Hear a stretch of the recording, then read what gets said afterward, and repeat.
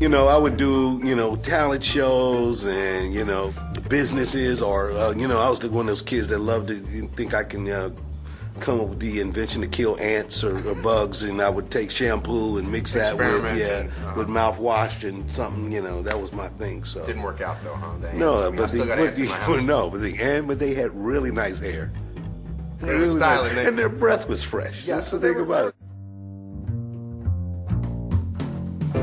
That really interested me were like Fellini. I think Fellini had such an amazing connection with his dream life and with his subconscious. Uh, that's my interpretation. And, and to see the way the imagery came out, and it was so rich that anybody could watch it and go, you know, anywhere within it and find things. Um, uh, I like Sergio Leone's uh, storytelling because he had a, a, a, grandiose, kind of larger than life, albeit, albeit you know, kind of sardonic look at the, at the Western mythology. Um, there were a lot of really wonderful storytellers, uh, but that's what that. It's not the story, because we all have. You know, what is that expression? There's only seven or twelve stories under the sun.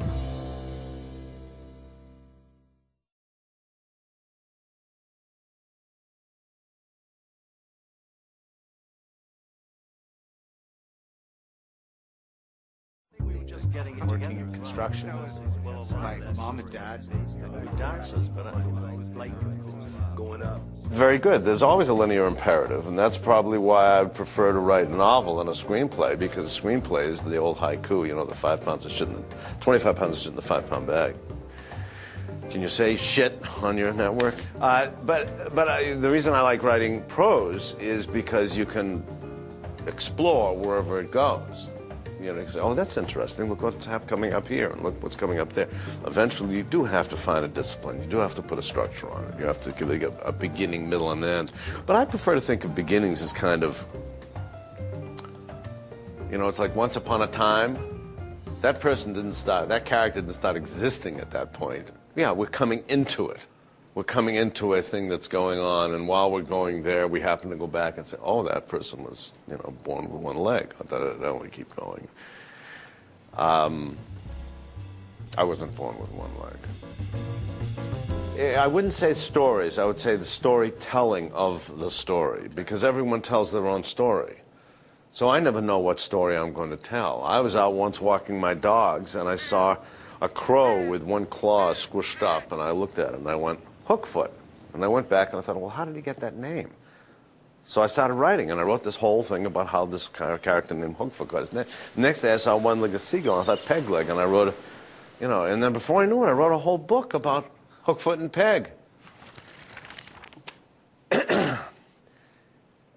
I think the interesting thing about, to me about storytelling is that it is a reflection. It's like, it's like a meditation on now, on where you are now, and what, what's happening to you now. What questions are you asking yourself now? What issues, what things, what things are you journeying, are you, are you wrestling with, and, and how, what characters or what issues come out of that, and what does it create, and like that. I, I, I, I think the storytellers that most interest me, or that really interested me, were like Fellini.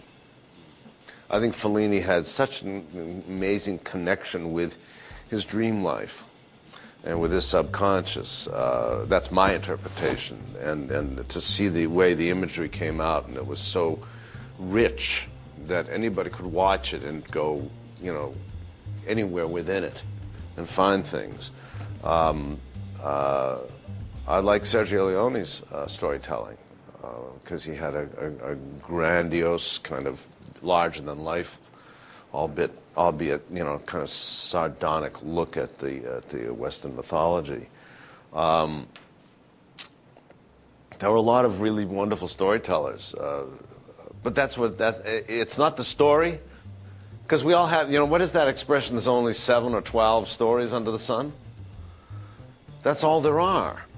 So there are all these variations, permutations of those stories. The thing that changes the two variables are always the storyteller and the listener or reader. When, like when you do the theater, when you're, when you're performing the theater, the play remains the same. But every night you come there, you're different because you're different, because change is constant. And the audience is different every night. So the constant is, the, is changed. The constant isn't the story. Uh, you know, you'd interpret a story of, uh, of uh, Fortune's Lost a lot differently now than you would five months ago, wouldn't you?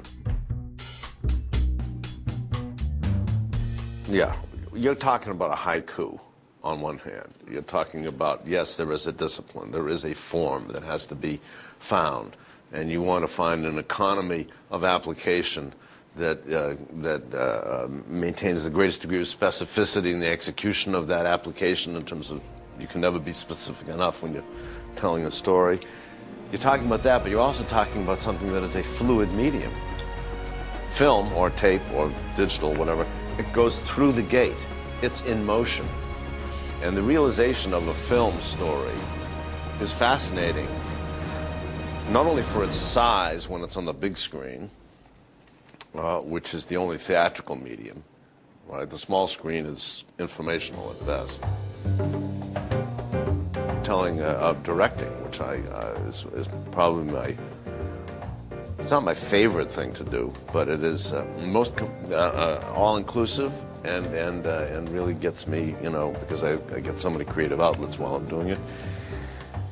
Is that you're not only telling a story of the script, but you're telling a story of everyone in the company. Because what you see on the screen is just the tip of an iceberg. It's the reflection of a tip of an iceberg.